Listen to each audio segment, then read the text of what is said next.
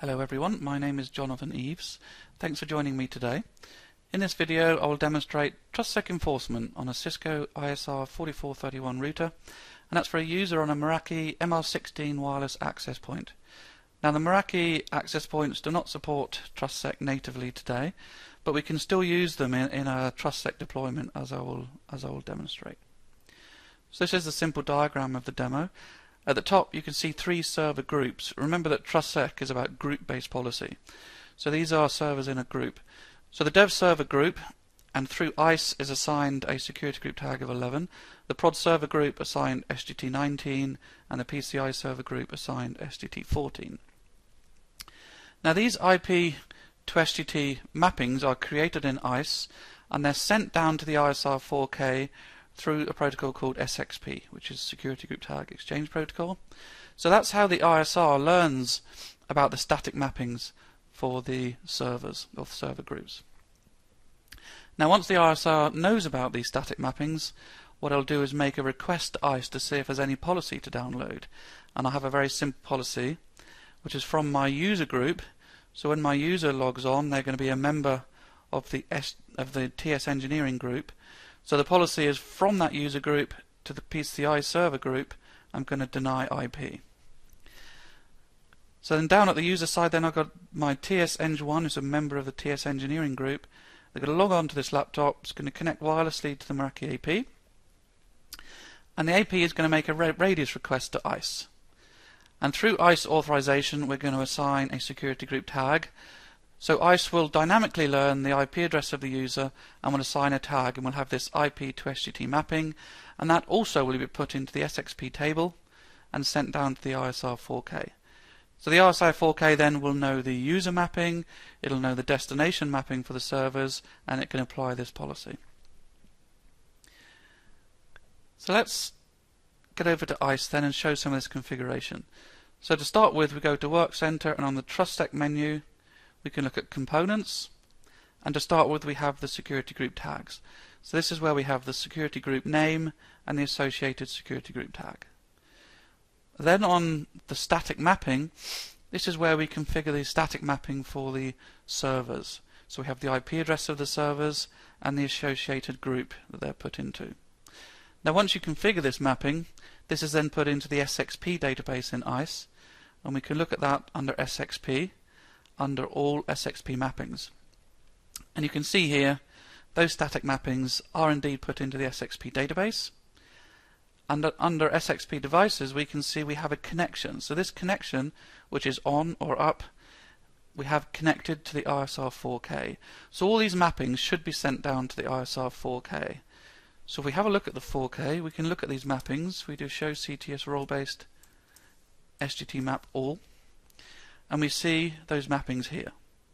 Resident on the 4K, and they're sent via SXP, obviously sent by the Identity Services Engine. So that's the destination mappings. Now, as I said, once the destination mappings are in place, the ISR knows it needs to protect them, so it should download a policy. So if we have a look at the policy, we can have a look at the permissions, and you can see indeed it has downloaded a policy. And I have this permission from the TS engineering group, happens to be security group tag 17, to the PCI server group, which is SGT 14, I have this policy, which is a deny IP. So the policy has been downloaded dynamically from ISE and is resident on the ISR. Now before we jump over to our wireless client, um, which is here, we can have a look at the configuration of um, the AP through the Meraki dashboard. So if we go back to web browser, let's go back to my dashboard and let's log in. So I'm logging in and through here I can see the status of my AP and I can see the configuration. So under wireless, if I click on access points, should be able to see the status of my AP. So this is my AP I'm going to be using. I can click on the name and I can show the status and some of the top level information. Now also under wireless I can look at SSIDs. So I can see and have a look at the SSIDs which are configured. You can see this one is enabled. I've got Kerno-Meraki and it's set up for 802.1x. So that's what we should see from the client. And the last screen I'll show you in here is the access control. This is the configuration on the AP, starting with it's set up for WPA2 Enterprise. And if I scroll down, you can see I've got both Radius authentication and Radius accounting enabled. They're both using a host of um, my identity services engine, and of course accounting is using 1812. Uh, uh, sorry, authentication is using 1812 and accounting port 1813. And I also have Radius change of authorization enabled, as you can see there. And if I scroll down, you can see some other settings I've got. I've enabled layer 3 roaming, and you can see the band selection there at the bottom. So that's the AP. So let's go over to my client. This is my client, and I can connect to that SSID. If I look at my wireless connections, I've got I can see Kerno Meraki, and I can connect to it. So let's connect to the Meraki AP. Let's have a look to see what IP address has been assigned. So 10.230.11. So this should have made a request to ISE. If we go over to our live logs in ISE, we should have been able to see this authentication.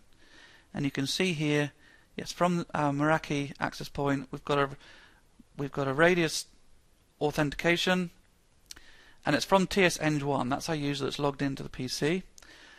And the authorization profile is that it's assigned a security group tag. So that's what we've assigned through ISE. TS Engineering, which is SGT17. Now also in ISE, we should have learnt this IP to SGT mapping and put it into the SXP table. So if we look at the SXP table, and looking at the mappings, you see here, this is our dynamic entry from our user. So the IP address is dynamically learnt, it's assigned the TS engineering group, and it's put into the SXP table. Now because we've got this connection sent going down to the ISR 4K, we should have this mapping sent down to the ISR 4K. And there it is. We've got the IP address dynamically learnt plus SGT17 and this is resident now on the ISR 4K. So the 4K now has both the user mapping and the destination mappings for the servers. And therefore we should be able to enforce policy. So let's have a look. If we go to the client, go to a browser, can I get through to the development server? Yes, that's fine. Can I get through to the production server? Yes, that's fine. Can I get through to the PCI server? No, I can't. It's connecting. So why is that? So let's have a look at the counters here, role-based counters. And you can see here from 17 to 14, so that's from SGT 17 to 14, remember that's TS Engineering, to the PCI server group, I'm getting traffic denied. And if we refresh the screen, you see that's going up. So this is the reason why we can't get through to the PCI server. It's because we're TrustSec enforcing on the ISR 4K. Now I can show um, that we can get this to work just by changing the policy. So in Identity Services Engine, we can actually jump over to the um, TrustSec policy. So this is our policy. Just looking at the source tree, we can see from TS Engineering to the PCI server group, we're denying the traffic. So of course we could just edit this, and instead of a deny IP, maybe set a permit IP. We can save it, and we can push it down to the ISR 4K. And now if we look at the 4K, let's have a look at the permissions. Now, from TS Engineering to PCI, we're now permitting traffic. So if we go over to my client, can I still get through to development? Yes. Still get through to production? Can I now get through to PCI server? Yes, I can. So this is TrustSec enforcement using oh, TrustSec enforcement on a router on the ISR 4K, but with users on a Meraki access point.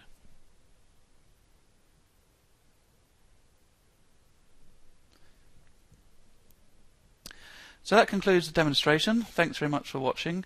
For more information, please visit www.cisco.com slash go slash TrustSec.